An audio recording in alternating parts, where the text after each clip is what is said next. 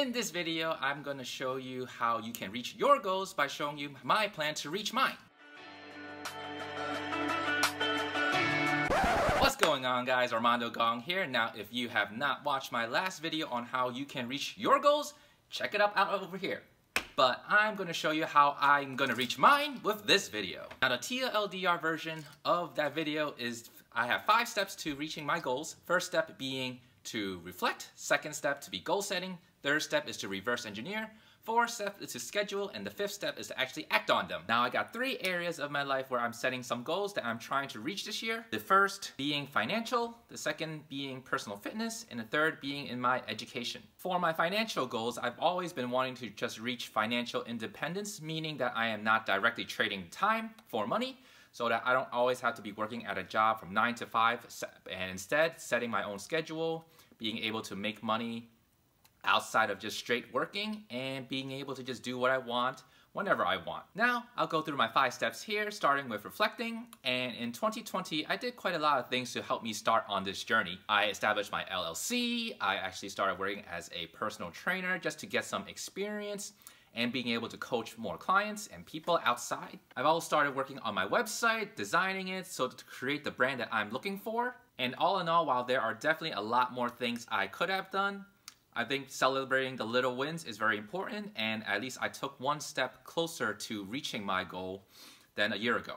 And now we come to the second step, which is goal setting. And for the year 2021, I'm looking to make $50,000 online doing a variety of different services the main ones coming up for me are doing online coaching and uh, earning income through affiliate income. Now the next step is to reverse engineer how exactly I'm going to make this $50,000 online and breaking it down by quarter, how much you plan on making per quarter and then breaking it down by month and then by week to determine what exactly I need to do in order to get to that goal. So for quarter one, I plan on making $5,000. For, for quarter two, 10,000, quarter three, 15,000, and for quarter four, 20,000, knowing that in the beginning, I don't, I'm not gonna have a lot of traction, but as I continue to do what I need to do in order to reach those goals, that hopefully my more traffic volume, more clientele, and just uh, momentum will help me get to my goal. Now, I'm at the start of my online business journey and no one really knows who I am. So for the purposes of quarter one and quarter two, I'm really just trying to establish a following, establish who I am, what I can provide to potential clients, and I plan on doing that by releasing one YouTube video a week in the first quarter for the first three months, uh, January, February, March.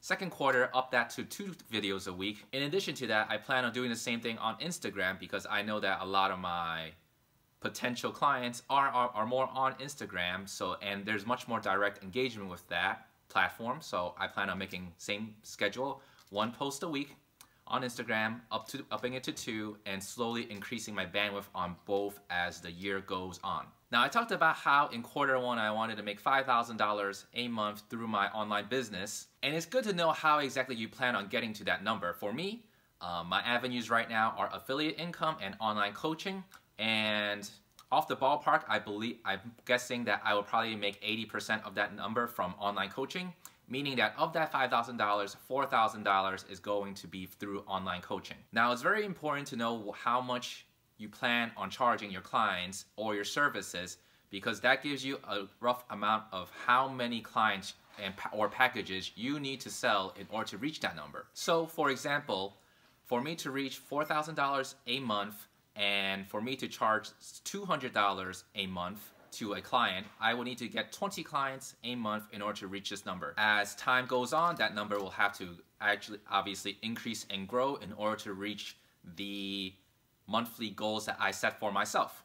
And that's just one example of reverse engineering how exactly you need to get to your financial goals. Now for me, while the number is nice, it isn't actually the end all be all for me because I believe that for you to make money, basically, it's a it's kind of a reflection of how much you've been able to help people and how many people you've been able to help. If I don't reach my goal, that's okay because at the same time, that's that's more a reflection that I need to refine what exactly I am doing, what exactly I am providing to my clients in order to better understand them and being able to provide a better product to them. Now, I basically gave you guys one financial goal of mine, so you know, leave a comment below and tell me what one of your financial goals are for this upcoming year. The second area I really wanted to make gains on is in the personal fitness area for myself, meaning I like to train, I like to move around, and I just like to exercise and just be in shape and be able to do things. And that's just always been my general goal. But for this upcoming year, I'm, i wanted to set some more specific goals, just talking about my 2020 uh, and what exactly I've done in this arena. A lot has changed in 2020, obviously. We I typically am on a Dragon Boat team, and I still am, but there's there would have been a lot more on-water training. We have, would have been doing a lot of uh, erging, and that didn't really happen this year. Instead, I looked at it more as taking a recovery year, taking a time off, taking some time away from the sport, while still being active and just being able to move around and do things I previously did not have time to do. And as a side benefit, I did lose a couple pounds off of my body just because I wasn't eating as much, I wasn't working out as much. But all in all, my personal health and personal training and personal fitness didn't really suffer too much. I stayed in relatively good health, I didn't catch COVID. Now for 2021, I've wanted to set many more concrete goals and more specifically performance goals, things that I want I've always been wanting to achieve in bodyweight calisthenics that I set for this year that I am looking to make a lot of headway on. Now I'm basing a lot of the goals I want to reach this year off of a chart that another YouTuber, uh, Tom Merrick or the Bodyweight Warrior set for an intermediate bodyweight calisthenics athlete. His channel is amazing. If there's something you want to learn about bodyweight fitness, you should definitely go check him out. So there are a lot of things I want to achieve this year, specifically a one arm chin up negative, a 40 second freestanding handstand, a press to handstand, a 10 second planche, a 5 second straddle front lever, 5 second full back lever, and a 20 second L-sit. Now you may be thinking that's a lot of goals that I want to achieve. While these are all performance goals, what comes from the performance is laying down a good foundation and building up my strength, building up the movements that will enable me to reach these goals, and just consistently sticking to a program training appropriately and progressively overloading to get to that goal and always just being mindful of what exactly my body can do. I'm a big believer in what Tom Merrick provides and you know I subscribe to his uh, tribe program. My plan to in order to reach these goals is to follow his skills strength training program which is basically training three to four times a week doing roughly 45 to 50 minute sessions each time. His skills and strength program is roughly 26 weeks. My downfall has always been consistency, so I set myself up to just follow a program,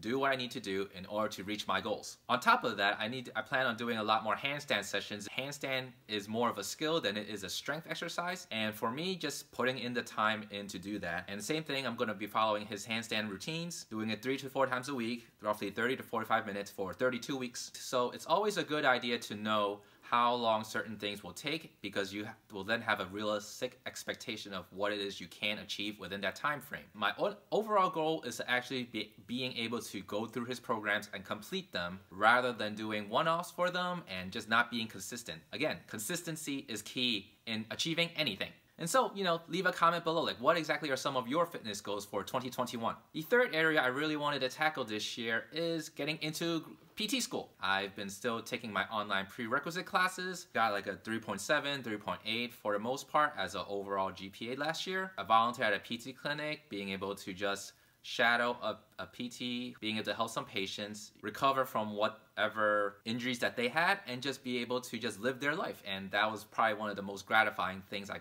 did this year. And I also applied to five different schools in physical therapy and we'll just have to see where that goes. Now for 2021, there's always a chance that I don't get into physical therapy school based on this cycle. So what am I supposed to do? My goal is to basically strengthen my application even more I've always had a very lagging cumulative GPA from my undergrad years, and you know, this came to bite, bite me in the butt 15 years down the line. And that's okay, you know, it's, it's part of the process. It's just something I know that I have to up my baseline. And what that entails is me taking four additional courses in order to just make me reach the minimum for a lot of these programs. And I would really like to complete all these classes by the time the next PT cycle opens up in July and so that means that I will need to complete four classes within the next six months. Now, I've currently signed up for two classes, both requiring different time commitments. So I, if I want to complete these two classes within the next three months, January through March. One of the classes requires about 108, 110 hours based on their syllabus in order to complete. Now, if I break it down into the 13 weeks that are in January through March, that comes up to about 8 hours and 15 minutes per week. To break it down even more, that's roughly about 70 minutes a day that I need to devote to this one specific course. The other class I am taking is actually roughly 62 hours of work and if you break it down, that's about 4 hours and 45 minutes a week devoted to that class. And so that's roughly 40 minutes a day if you break it down into 7 days. What I've done is actually try to schedule it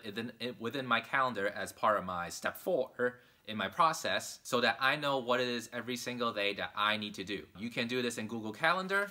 I have something like a planner such as this, a daily planner for myself, blotting out time in the day that I specifically have something that I want to accomplish that day. It's important to do this, to do it in an actual calendar and actually devoting time to things because we think we have a lot more time in the day than we do. And what ends up happening is we don't actually accomplish a lot of the tasks we set out to do. And so estimating how much time you need per task, putting it in your calendar, actually delegating that time for that, and doing that task helps you actually focus your time, actually gives you a realistic expectation of what it is you can do in that day. I hope this was a very good example to just show what it is that I plan on doing based on the process that I set up in this last video because a lot of times for me, watching other videos and people telling me what they do, it's very hard to actually visualize and make and take in for myself. I like it a lot better when like people make examples of like everyday, day-to-day -day demonstrations because it gives me an idea of how I can do things and like a very realistic way of doing it. And so I hope like me laying out my process for this upcoming year served as a very good template for what it is that you can accomplish this year. Now I also have these two additional videos that you guys can watch just to hopefully open up your mind to help you live your best life. That's really all I have for today.